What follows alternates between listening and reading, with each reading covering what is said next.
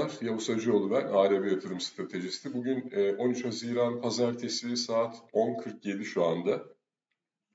Herkese iyi haftalar dileyelim. Önce hızlıca bir geçtiğimiz hafta bazı tespitlerimiz vardı. İsabetli de tespitler oldu içeride dışarıda bazı tahminlerimiz. E, onların hızlıca üstünden geçelim. E, bu haftaya neler taşıdık onlarla devam edelim.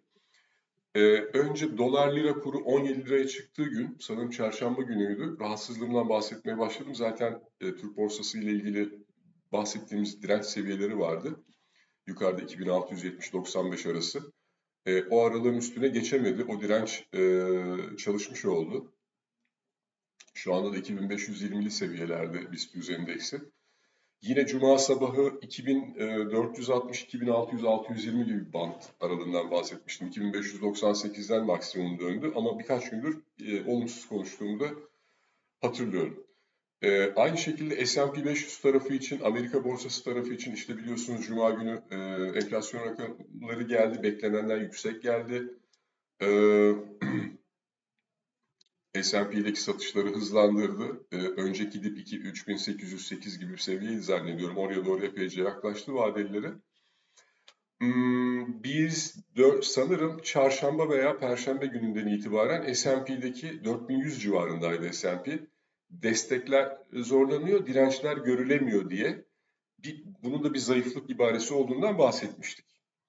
Nitekim destekler kırıla kırıla buraya kadar, önceki diplere kadar gelindi. Şimdi önceki dip doğal olarak bir destek. Ee, çalışmaması halinde, ha, bu arada FED toplantısı var bu hafta, faiz kararı açıklanacak. Ee, son enflasyon rakamından sonra 75 bas puanlık artırım yapılması gerekir diye e, düşüncelerini söyleyenler var. E, işte belli yatırım bankaları tarafından. Ee, dolayısıyla muhtemelen bu etkilerle bir de Çin'de yine vakalardaki artıştan dolayı ilave tedbirlerden falan bahsediliyor. Çin çok enteresan bir yer. İnanın hani bazen farklı gezegendeymişiz gibi düşünüyorum. Yani çünkü çok kapalı kutu. Hani Çin'le ilişkileri olan tanıdıklarım var. Yani giderken gelirken yaşadıkları e, zorlukları falan da biliyorum. Enteresan bir yer. Oradaki ilave tedbirler de yine e, birazdan petrolü geleceğiz. Bir takım e, hani büyüme e, rakamlarını, beklentilerini baskılıyor. Baskılayacak gene. E, demek ki bunu da bir süre daha konuşacağız tekrardan.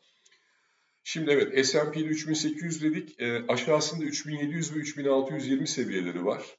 E, ikili dip çalışmazsa çalışıp çalışmayacağı konusunda benim fikrim yok ama 4100'den aşağı doğru buraya kadar e, zayıf olduğunu düşündüğümü paylaşmıştım. E, Euro dolar tarafı 1.0570 orada önemliydi ama enflasyon rakamıyla birlikte hızlıca kırıldı. 1.0520 önemliydi. Yani 1.0520 şöyle önemli. 1.0520'den aşağı doğru 1.0350'ye kadar bana göre çok bir seviye kalmıyor. Yani şu anda 1.0480'lerde ama 1.0520'nin altı 1.0350 habercisi diye e, söyleyebiliriz. E, bütün bunlarda e, FED toplantısı tabii ki çok önemli olacak bu fiyatlamalarda. S&P'den bahsettik, Euro dolardan bahsettik, petrol. Petrolde de yine zannediyorum çarşamba veya perşembe günleri itibaren evet 117 doların üstü güçlü olduğu bölge Brent petrolün ve hedef 130 dolar teknik hedef. Ancak 123 dolarlara birkaç hani denemeden sonra geçemeyişinden itibaren de şundan da bahsettik. Zayıf, biraz zayıf yani 123'leri geçememe hali var gibi bir görüntüden bahsettik. Nitekim e, enflasyonun yüksek gelmesi tabii ki bu işte e, büyümede büyüme e, beklentilerini baskılıyor. Çin'deki e, demin bahsettiğimiz konulardan dolayı petrol fiyatları baskılanıyor. Neredeyiz? 117 dolardayız Brent petrolde. Önemli bir seviye. Hani tam da güçlü zayıf sınırında şu anda. Ee, Brent ile ilgili de bunu söylemiş olalım. Türkiye işte birkaç cümle daha e, gelelim. Bu sabah cari açık rakamları açıklandı.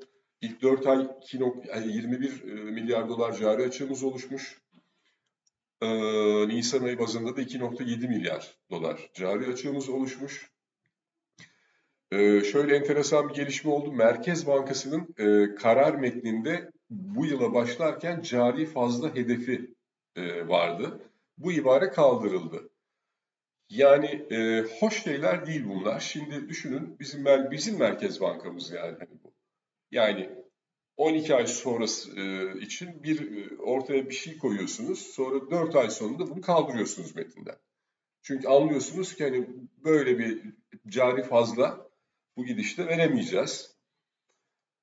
E, yani ne, ne diyebiliriz? Ah, GES %23.04'lük bir e, getiri garanti ediliyor GES'te.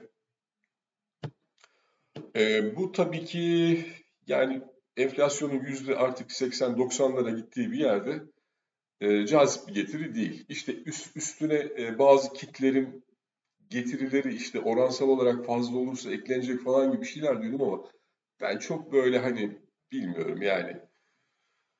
Şöyle bir özelliği olur GES'in. E, liradaki değer kaybını durdurmaz ama e, borsa tarafından da para çekmez kendine. Çünkü bu cazip bir getiri değil. GES'in hani ilk e, GES'le ilgili e, ilk iki söyleyeceğimiz bunlar olabilir. Liradaki değer kaybı e, bir taraftan da sıkılaşma tedbirleri de devam ediyor. Hani tam faizleri düşük tutuyoruz ama ne yaptık? İşte tüketici e, kredilerinde işte e, zorunlu karşılık oranını artırdık. Bireysel kredilerde vadeyi kısıtladık. Kredi kartlarında yine sıkılaşma e, e, adımları attık. Ondan sonra ee, yine bireysel kredilerde yeni öğrendim. Ee, BSM oranı %5'ten %5'ten şey, 5'ten 10'a çıkarılıyor. Binde 5 herhalde o. Ya da neyse. Dolayısıyla hani biz yani büyüme odaklı bir e, patikaya girdik. Daha geçen hafta başında hem Sayın Cumhurbaşkanı hem e, Hazine Bakanı biz e, enflasyon pahasına, liradaki değer kaybı pahasına büyümeyi tercih ettik. Yani biz isteseydik bizzat Hazine Bakanı kendi söyledi. Biz isteseydik çok sert te- tedbirlerle enflasyonu düşürebilirdik, liradaki değer kaybını önleyebilirdik dedi. O zaman buradan şu çıkıyor. Önleyebileceğiniz bir şey önleyemediniz ve bu kadar pahalılık da bundan kaynaklandı diye bir noktaya gel- gelmiş oluyoruz. E şimdi bu sefer aradan bir hafta geçti, geçmeden, daha geç, geçen çarşamba, perşembeden itibaren ne olmaya bak? Sıkılaşma tedbirleri demin saydığımız sıkılaşma tedbirleri alınmaya başladı. Şimdi bu ne perhis, bu ne ne? Diyelim.